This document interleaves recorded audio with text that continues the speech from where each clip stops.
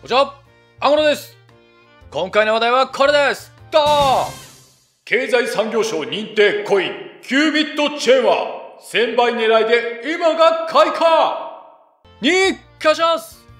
ニュースター世界初、量子コンピューターによる次世代のライトニングネットワーク、シミアチェーン。世界一の仮想通貨取引所バイナンスにも実装予定シミアチェーンは2018年東京大学のクラスメイト3人によって開始経済産業省の未踏事業に選択されました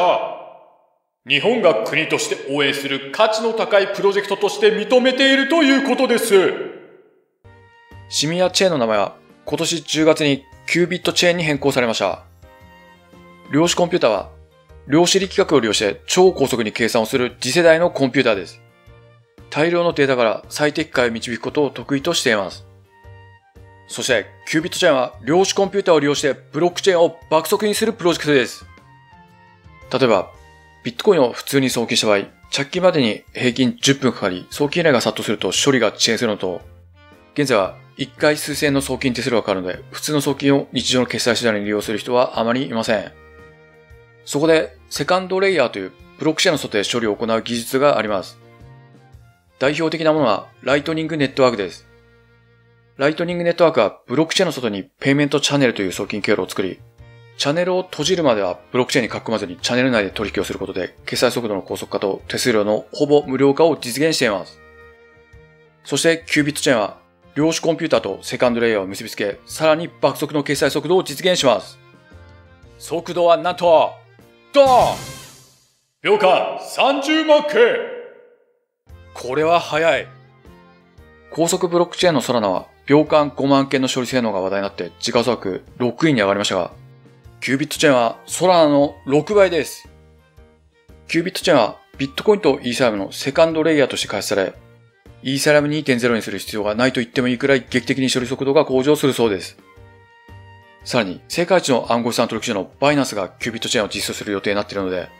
もし実装されたら、バイナンスにキュービットチェーンが上場することは間違いありません。さらに、経済産業省の他にも強力なパートナーがついています。これですドーン東芝富士通 D-Wave D-Wave はカナダの量子コンピューター企業です。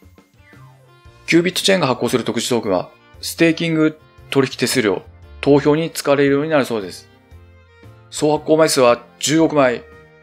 トークンセルは1枚0.01ドルで販売されました。想定では3億円以上資金調達したと見られています。キュービットチェーンが秒間30万回を実現し、バイナンスに実装されたら、時価総額上位に食い込んでくることは間違いないので、仮に時価総額が20位くらいの約100億ドルになるとしたら、コインの価格は100億ドル割る10億枚イコール10ドル。上場発値は0.1ドルにすることが決まっているので、上場発値から100倍。さらに、ソラナの時価総額の600億ドルを超えた場合は600倍。ソラナの性能を超えるなら1000倍も夢ではありません。以上参考に、キュービットチェーンは今が買いなのか予想すると、それは買いではないと予想します。発表だ情報処理推進機構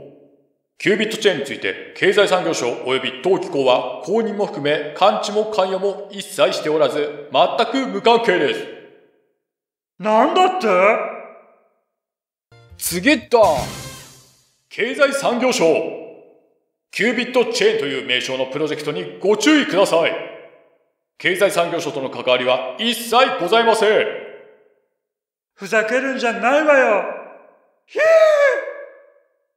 その他、キュービットチェーンのファンが東芝と D-Wave に問い合わせたところ、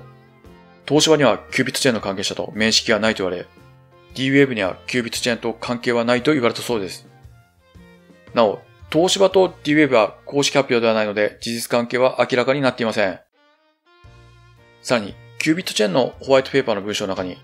フィンランド研究所の論文と完全一致の記述があることが明らかになっています。このように、経済産業省に認められた話や大企業との提携の話など、プロジェクトの内容に嘘が混じっている可能性があるので、投資を検討するときは事実関係を調査してからの方がいいです。プロジェクト代表は、三上幸太氏。三上幸太氏は東京大学理工学部在学の現役東大生です。ネットでは、ゼンティというハンドルネームで活動していて、今年7月に情報商材販売者の小玉歩氏とタッグを組み、300人の少ないフォロワーでも月収100万円稼ぐ方法を販売し話題になりました。稼げた報告は見つかっていません。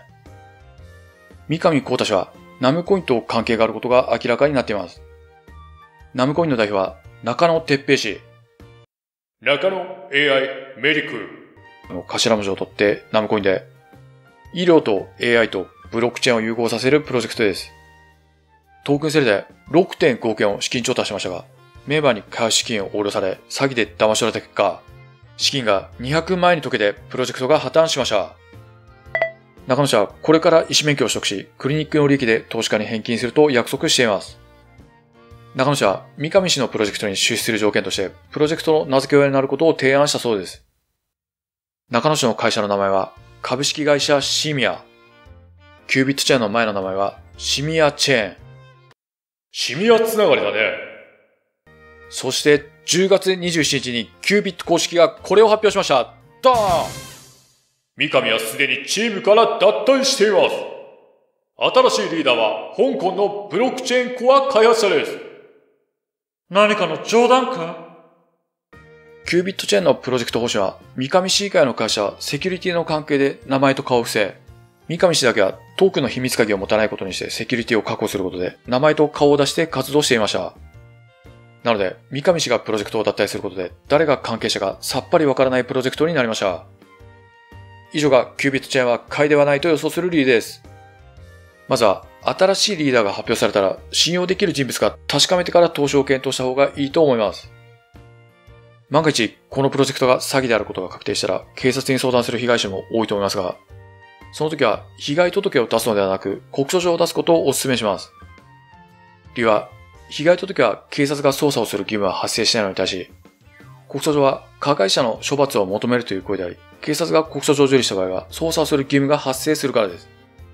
さらに、明確な犯罪にならない場合を除いて、警察は告訴状を受理しなければいけないと法律で定められています。